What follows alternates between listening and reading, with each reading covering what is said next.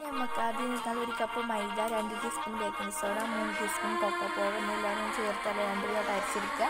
എന്നിട്ട് നമുക്കൊരു നാല് എഗ്ഗും രണ്ട് ഒന്നര ടീസ്പൂൺ വണ്ണ സീസ് കൂടി ചേർത്തിട്ട് ഇതുപോലെ ഒന്ന് ബീറ്റ് ചെയ്തെടുക്കുക. ബിസ്ക്കോണ്ടാണെങ്കിൽ കുറച്ച് ടൈം കൂടി കിട്ടാം ബിസ്ക്കോണ്ട ബീറ്റോണ്ട എന്താണ് ഒന്ന് ബീറ്റ് ചെയ്തെടുക്കുക.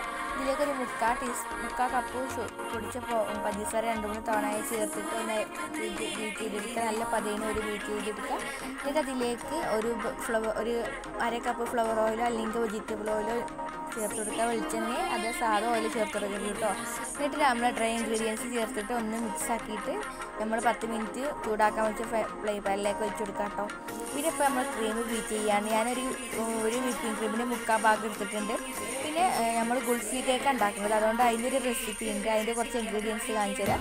ഒരു സ്റ്റൗ കത്തിച്ച് അതിലേക്ക് രണ്ട് കപ്പ് പാലും അതുപോലെ അതിന്റെ ആവശ്യത്തിന് പഞ്ചസാരയും ചേർത്ത് കൊടുക്കുക മിൽക്ക് മെയ്ഡ് ഉണ്ടെങ്കിൽ അത് ഞാൻ ചേർത്ത് കൊടുക്കാറുണ്ട് മിൽക്ക് മെയ്ഡ് ഇല്ല അതുകൊണ്ട് അതിന് ചേർത്ത് കൊടുക്കാത്തത്.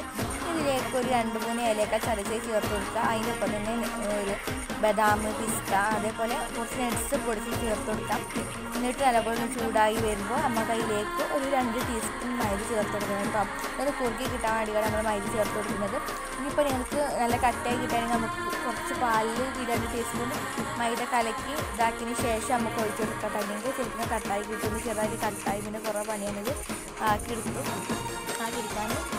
നമുക്കൊന്ന് ഞാൻ ഒരു കിലോ കേക്കിനാണെങ്കിൽ അര കപ്പ് പാൽ അതേപോലെ അതിന്റെ എല്ലാത്തിനും പകുതി എടുത്താൽ മതി കേട്ടോ ഇത് രണ്ട് കിലോത്തിനായതുകൊണ്ട് രണ്ട് കപ്പ് പാൽ ഇട്ടിട്ടുണ്ട് അപ്പോൾ ഒരു ഒരു കപ്പാവുന്നില്ല നമുക്ക് ചെയ്ത് കൊടുക്കാം അതൊക്കെ അതിപ്പോൾ ഏതായാലും റെഡിയാക്കി കിട്ടിയിട്ടുണ്ട്. നമുക്ക് കേക്ക് ഐസിങ് ചെയ്യാം. അതിന് ആദ്യമായിക്കാണ് നമുക്ക് ആദ്യം ഫസ്റ്റ് ലെയർ ചേർത്തിട്ട് സാധാ വിപ്പിംഗ് ക്രീം ചേർത്തിട്ട് നമ്മളെ ഈ എന്താ പറയുക ഗുൾഫി മിക്സ് ചേർത്തിട്ട് പിന്നെ അതിന്റെ മേലെ രണ്ടാമത്തെ ലെയർ വെച്ചിട്ട് പിന്നെ എന്താ പറയുക നമ്മുടെ വിപ്പിംഗ് ക്രീം ഷുഗർ സിറപ്പ് ചേർത്തിട്ട് പിന്നെ വിപ്പിംഗ് ക്രീം ചെയ്ത് ഇങ്ങനെ ചെയ്തെടുക്കാട്ട് ചെയ്യുന്നത്.